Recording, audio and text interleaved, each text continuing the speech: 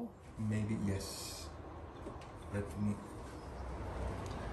So here's the albergue. I'm staying tonight.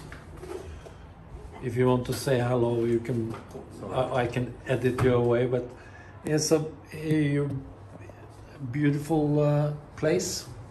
Just to give you a short. It's here. Yes.